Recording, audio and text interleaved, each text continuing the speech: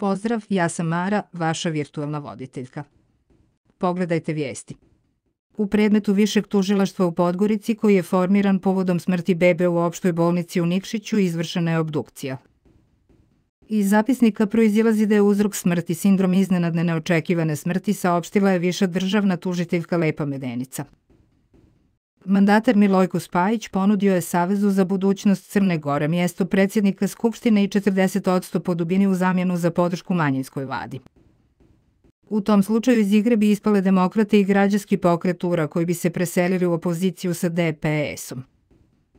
Manjinskim partijama, kako saznajemo, ne smeta da sa koalicijom za budućnost Crne Gore prave vlast pod uslovom da ne participiraju u 44. vladi.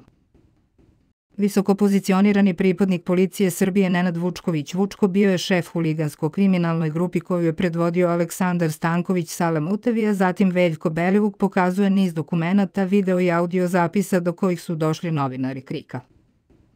Za Stankovićevo ubistvo niko nije uhapšen. Obavještajna agencija bio u svom izvještaju iznjela je sumnju da je likvidaciju naručio Jovan Vukotić. Zamjenik gradonačelnika Podgorice Danilo Šaranović i član odbora direktora sportskih objekata Ivan Kopitović predali su specijalnom državnom tužilaštvu krivičnu prijavu protiv bivšeg direktora tog preduzeća Vojislava Markovića i protiv članova bivšeg odbora direktora istog društva. Zapratite naš kanal. Za više informacija posjetite naš portal.